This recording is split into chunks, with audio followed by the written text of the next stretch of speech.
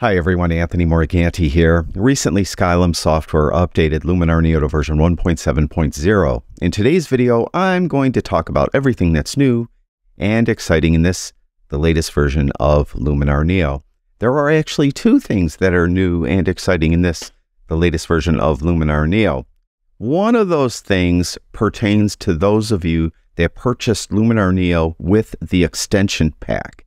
If you did, you'll now be able to use HDR Merge, Focus Stacking, and the Upscale AI extensions as plugins in Lightroom. I'm going to demonstrate how to do that by using the HDR Merge extension as a Lightroom plugin. As you can see, I have Lightroom open and I have a bracketed set of three images in the film strip. Now, I didn't do any editing at all to these three images. But feel free if you want to do editing to yours before you send them to the HDR Merge extension, go ahead. Um, but just make sure that the editing is pretty much the same for all three images. Now, I didn't do any editing, and to get them into that HDR Merge extension, I need to select all of them in the film strip. Just click on the first one, hold the Shift key down, and click on the last one so all three images are selected. To get them into the HDR Merge extension, from Lightroom, go up to File, then down to Export with Preset. And you go down here to the section on Luminar Neo, and you could see that I could focus stack images this way. I also could just select a single image and upscale that photo in Luminar Neo if I want to do that. But as we mentioned, for this set of images, I'm going to use the HDR Merge extension, so that's listed there as well. So I'm not going to demo how to do focus stacking here or how to upscale an image, you just access it from this menu. If you're doing focus stacking, just make sure you select all of the images like I did for the HDR merge. If you're doing upscale, just make sure that the image you want to upscale is selected, and then you're good to go. So we're going to click on HDR Merge in Luminar Neo. When you do that, it will open up the three images directly into Luminar Neo, into the HDR Merge extension. Now, don't just click Merge right away.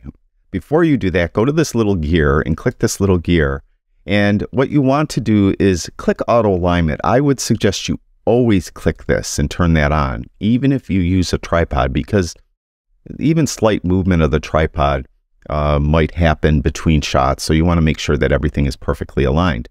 For this set of images, I have to click it because I handheld these three shots. Uh, you might want to use or click chromatic aberration reduction um, I'm not going to. I did that in, or that was done in Lightroom automatically when lens corrections were applied. And ghost reduction, you want to do that if you have, uh, uh, let's say, a landscape scene and it was a little bit breezy and the grasses or the trees were swaying in the wind a little bit.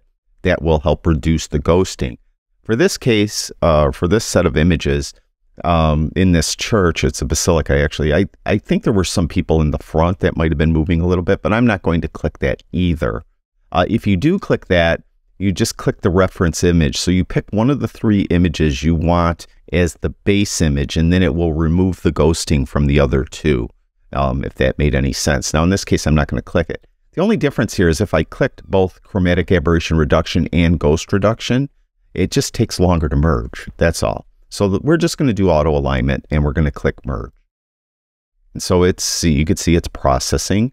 And I have actually never done this before uh, as a Lightroom plugin, so I'm not sure how long this will take, but we'll let it do its thing.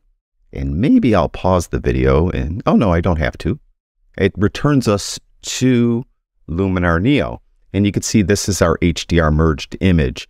And we could click apply and just return back to Lightroom, or I could click cancel, or I could go to the edit panel and I could do editing here. Now it kind of, as you can see, does some editing already. Um, it actually looks pretty good. So for this instance, I'm just going to click apply and we'll click apply. And it will return us to Lightroom. And I had those three images in a collection and it should put that image in that collection and it did. It's right there. So I could edit from this point forward if I wanted to, uh, but I don't think we'll have to. It looks pretty decent. Now, let's talk about this other uh, new feature in Luminar Neo. Let me open up Luminar Neo and let me get to it. Um, it has to do with the presets. You now will be able to see a preview of a preset by just hovering over the preset. So let's go to the presets tab And let's just pick some presets. Let's pick uh, easy landscapes, let's say. Now you'll see they, that these little circles, they have to kind of lock in. And then all you need to do is hover over it. You see I hover over long exposure. That's what that looks like. Hover over sunset. That's what that looks like. Clean light, noir landscape, kind of like that one.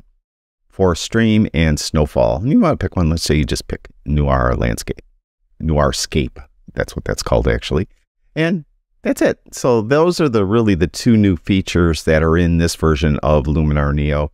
In the description below this video, I'll have a link to their website. It's been one year since Luminar Neo has been released, and they're having a one year anniversary sale. I also have a promo code that will save you, I think, $10, but don't quote me on that. But anyway, I'll have that listed in the description below this video as well. That's it. That's everything that's new and exciting in this, the latest version of Luminar Neo. Thank you, everyone who watches my videos. I really do appreciate it. I'll talk to you guys soon.